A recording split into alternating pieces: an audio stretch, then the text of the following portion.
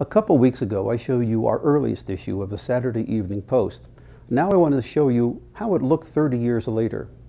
Just for perspective, I've put out a Wall Street Journal here on this side. It measures 22 by 12 inches.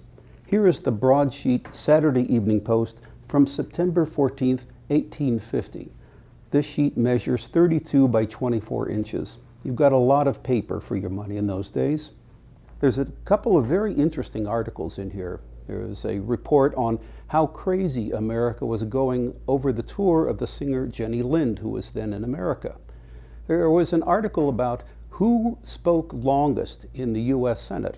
Apparently, a reporter who took notes on speeches said that the lead talker in the Senate in 1850, 11 years before he became President of the Confederate States of America, was the senator from Mississippi, Jefferson Davis, who talked six times longer than anyone else in the Senate.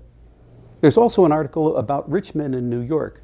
The Post is proud to say that none of the wealthiest millionaires in New York started off rich. All of them came from modest backgrounds. I did some quick calculating on how long it would take to read this.